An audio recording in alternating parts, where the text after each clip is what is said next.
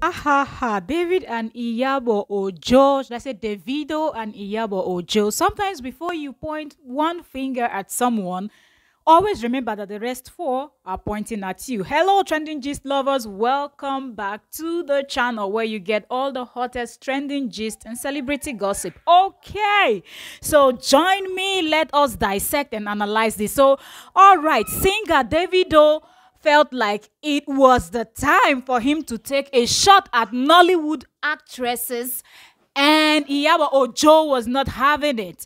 David tweeted and said, It seems like all these Nollywood female actresses they sell their body and then that's how they make their money from having with men that their money is not coming from the movie that they're acting, okay? That them visiting, mm, selling themselves pays more than what Nollywood pays them.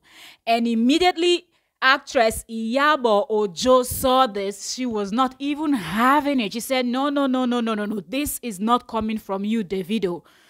Excuse me, who is talking? The serial baby daddy, are you the one talking? Really? Are you the one taking shot at Nollywood actresses? Please, if people want to say anything, be quiet. Or is it that your account was hacked? She was she couldn't believe that David would say something like this because as you all know, David has several kids. I don't even know how many children he has with different women. None of them are his wives. None of them are even a serious girlfriend or anything. They're just women that he just sees have sex with and just mm, start having kids. So really, I don't even understand where this one is coming from. Why is it that David feels like I keep calling him David. He calls himself Davido. Okay, that's his stage name, Davido. So I don't even understand how Davido could just wake up one day and tweet something like this when he knows that he himself he is not perfect.